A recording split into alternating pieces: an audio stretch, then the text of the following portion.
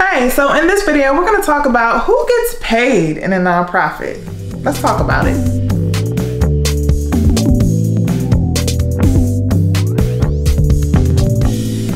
This is Tiffany with Boss on a Budget. I help new and small nonprofits get up and running. So if you need help, make sure you are subscribed to this channel because I drop videos every week. And this is kind of like a nonprofit 101. This is for people who are thinking about starting a nonprofit, who really don't understand the nonprofit industry at, at all, and really need help figuring out like how do you get paid? Like what do you do? Like who's supposed to get paid, all right? I do have videos that talk about like the nitty gritty of it, like how do you approach it, what do you do? So I'm linking one above that talks about how to get paid as a nonprofit founder. So make sure you check that one out. But I'm just gonna do like an overview today. So first I'm gonna talk about um, the difference between staff and board and who gets paid and who does not. And then I'm gonna just talk about different levels of staff that you may have that need to get paid for your organization as a way for you to think about like, how to divide up the personnel in your organization once you get to that point where you're making money to be able to pay staff. And then at the end of the video, I'm just gonna share like if you're looking to hire staff, who you should think about hiring first. Like what are the really important positions that will pay off the most, all right? Let's get into it. All right, so first the difference between staff and board. People get confused by that because they think that if people serve on the board, they should be getting paid. Typically, in a nonprofit setup, your board members are volunteer and they don't get paid. There are some nonprofits where boards get paid, but those situations are rare. And I talked about these situations in the video I'm linking above, which talks about do board members get paid. In most typical situations, board members do not get paid. So if you are a founder and you're watching this and saying, well, I serve on my board and I absolutely plan to get paid by my nonprofit, what does that mean?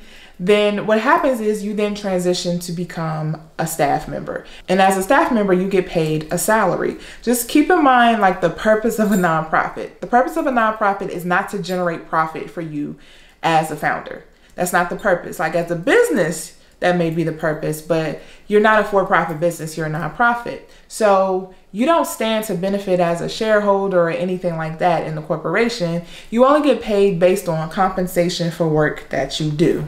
Okay, so just keep that in mind that for people who get paid in a nonprofit, they are designated as staff. Now, staff may be your executive director and then people all the way down. So let's talk about like what are the different levels of staff? Like who are those people that would get paid? So I thought the best way to kind of organize this video is just talk about those different levels, all right? So the first level is like the executive level. So those are the people who are making the strategic decisions and helping to implement the organization's strategic strategic plan kind of at the highest level for the staff. So that would be your executive director, it could be your chief financial officer, it could be your chief operations officer, right? Your COO, CEO, all those people, right? So they they are the top people who are making executive decisions, right? So they are kind of the the layer that engages the most with the board. The board in its normal sense is supposed to be more hands off. They set the long-term vision and strategy for the organization and they work with the executive level staff to kind of make sure that it's being implemented well, right? So that's the executive level, okay? Now, as a nonprofit founder, you're typically the executive director who's over, you're like the chief staff person in the organization. So you're over everyone, but especially working with and directing that executive level. Another level you want to think about is your admin level, and they are the people who kind of support the infrastructure of the organization. So, in terms of your HR, your finances, your accounting, maybe facilities if you have a building, stuff like that. They handle all of that stuff that the organization needs to run. So in my budget video, I talked about admin costs and overhead costs. Those are people who are typically incurring those costs, right? Those are things no matter what you're doing as an organization, it doesn't matter what programming you have, those things need to exist right? You need to have an HR function, you need to have an accounting function. So, administration is just making sure that the infrastructure of the organization is set and it's solid. The next level of staff you may want to think about, and I also just want to keep in mind that it may seem like I'm going like in order hierarchical, but I know some people may not want that structure. They may want more of a flat structure. So I'm just providing like examples of different levels of different types of staff that you would pay, but you may think about everyone kind of being at similar levels. So don't think that I'm just doing things in a high in a certain hierarchy, all right? So the next level I'm going to talk about is the programming staff. Those are people who are working directly with your clients and implementing programs. So as an organization, you may have more than one program that you're implementing. You may have one, you may have five.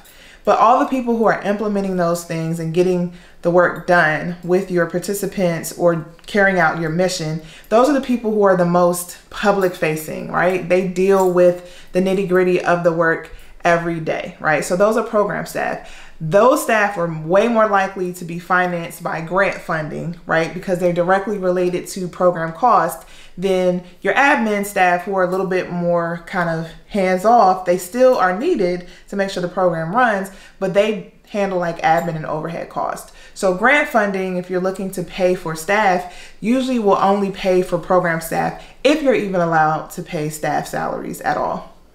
The last level of staff is like your support staff. Um, some people may also call this admin staff as well, but support staff are people who kind of support the people in certain positions, right? So they're there to support program staff. They're there to support the executive level staff or the admin staff in carrying out their functions, right? So they are kind of the foundation of the organization, right? So they make sure things are done and make sure that people have what they need to be able to carry out their job functions, right? And so you can think about like these different levels when you're trying to figure out how do you want to organize your staff, what your organizational chart will look like.